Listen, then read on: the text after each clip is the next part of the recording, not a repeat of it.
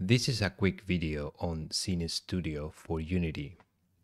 Scene Studio is a tool, mostly, I believe, designed for filmmakers, that makes a lot of sense when you start using it. I have to say that I haven't used Scene Studio that much. I have only scratched the surface so far, but everything that I'm seeing, I'm liking it. So this is the, um, the sample project that comes with uh, Scene Studio. And it's very good because it's very small, it's very contained, but it kind of shows you everything that you need for Scene Studio. Um, so to start with, it is important to have a few things uh, available for you in the Unity interface, like the hierarchy view. It's very important. Uh, the project view, where you have all your content. The timeline, of course, because this is going to be where you do all the assembly of your work. Then there is a sequence uh, window here that is divided in two different parts. The sequence structure and the assets collection. Both of these are, are quite important.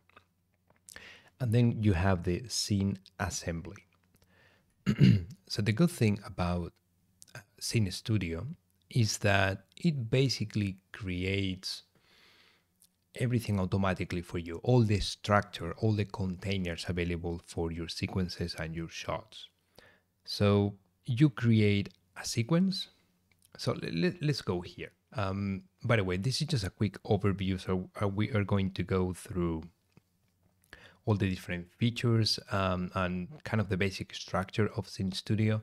And then I will do another video where, or a different part, second part of this video, where I try to create something from scratch. Uh, but again, because this is a sample project, I believe it's very, it's very convenient to, to actually see how it works. So here, if you go to sequences, this is the sequence of this uh, show of this project. It is only one sequence, and, sen- and uh, once you open that or once you expand that sequence, you have multiple shots. This case, like uh, seven shots. so when I select the um, the sequence, what you get here on the right in the sequence assembly, it is a structure that again, this is all created for you automatically, where you can add your characters, your effects elements, your lighting, your photography, and by photography, this means uh, cameras, then props, sets, and audio. So whatever you do here is going to be shared by all the shots. But then all the shots or each of the shots would have the same containers, meaning that you can override per shot, which is great, right? You can have a master lighting for the sequence, but then when you get to a specific shot, you can override the master lighting or modify the um, master lighting with whatever lighting you select here. So for example, you can see that shot 01, it has, it has a character it has some effects elements, it has lighting, and it has an environment. And as you can see, these are called O1 because they are specifically designed or created for this shot.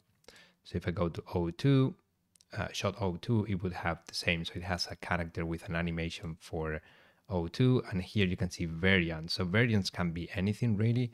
It can be a completely different model or a completely different look dev, or it can be different animation for for the shot. So we have an original character and then with variants, we control the animation. And same for lighting, same for props and everything.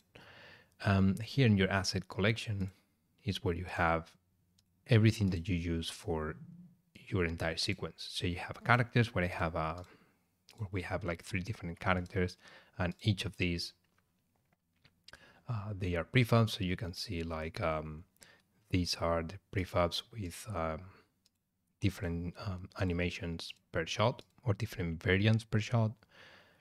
Um, so here you can actually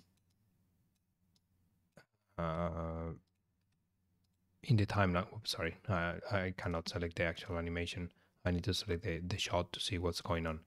Um, so when I select the master sequence, I have a timeline, right? Let me lock this one, by the way. So in this timeline, what you can do, you can assemble all these shots. So here you have shot 0, 0, 0, 1, 0, 2, 0, 3, and so on. So when I move my timeline, you can see that it's going from shot 0 to shot 1, then shot 2, 3, 4,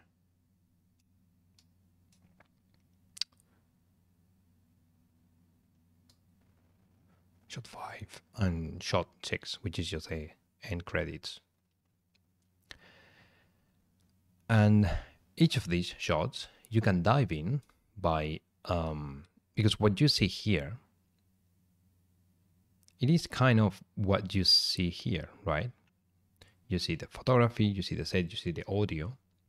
So you can expand all of these and they uh, will be populated with whatever you're using in your in your sequence or in your shot so this is the master sequence because that's what we have selected here. If we select shot 01, then we are inside of the shot 01. And the only thing you can see now is shot 01, so you're working within the context. And then here again, you see the structure that you created here. So you have your character you have your lighting, you have your effects, and your set. And each of these has uh, a clip here, right? So um, the character uh, has a clip that you can manipulate, of course. And you can you can go inside of that um, timeline, and then you have all the animation clips that belong to that timeline. Same for lighting. Uh, in this case, it's empty because the light the lights are not animated but the container is here in case you want to do something. With effects, you go inside of the timeline and then you have like sparks on different types of effects. And then the environment, uh, it also has a timeline, but uh, doesn't really do anything at all. Um, if you go back to the master sequence, again, you can go to any any of the shots.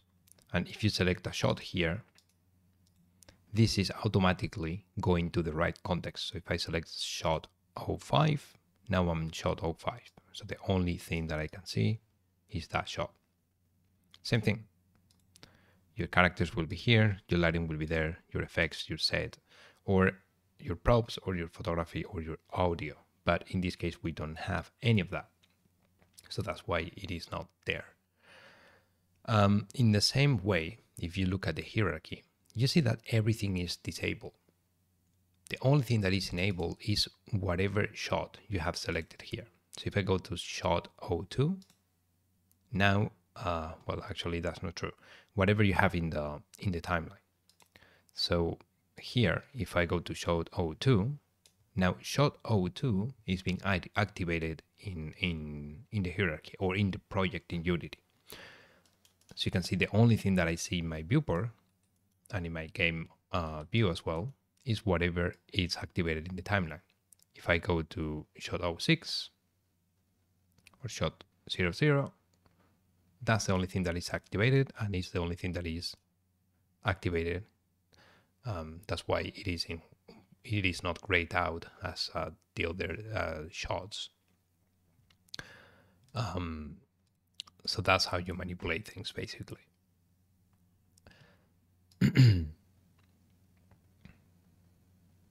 cool.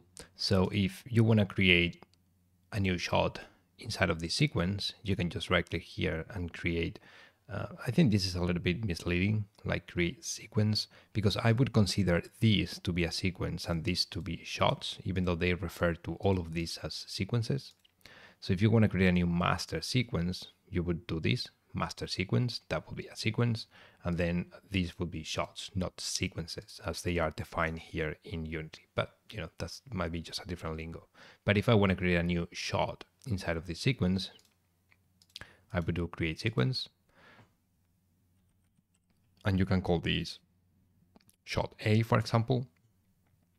And now I'm inside of shot A. But I don't see anything at all because of course this shot is not populated with anything. If I go to my master sequence, my shot A has been added to the end here. So we go from shot 06 to shot A. But again, there is nothing. So if you take a look here at my, um, in the hierarchy, there is nothing inside. So if I want to create something, um, well, I need to go here to my sequence assembly um, or my assets collection. This is where I have everything that I already have in the in the project. So, well, potentially you can take a character uh, that is already available and use it in shot A, or you can create your new characters or your new sets or whatever you need. So if I go to set, for example, I can click on plus and select whatever set is already in the sequence. If there is nothing here uh, that I want to use for my new shot, I can just click on create new sequence asset. So when I do this, it has created a new asset. So I'm going to call this test set. And it's going to ask me if I want to rename it. I'm going to say yes. So now you can see that in my set uh, container here in the asset collection, I have this set. And also, if I go to my hierarchy under my shot A, I have my set. And here in the timeline, if I select my, my shot, here in the timeline, this timeline for my set has already been created. So everything, the entire structure has been created automatically for me. So let's say that my new set is going to be uh, maybe, um, let's say, uh, plane and uh, cube. Let's say this is my this is my new set. Um, so look at this. When I'm in the um, in a different shot, only whatever belongs to that shot is activated.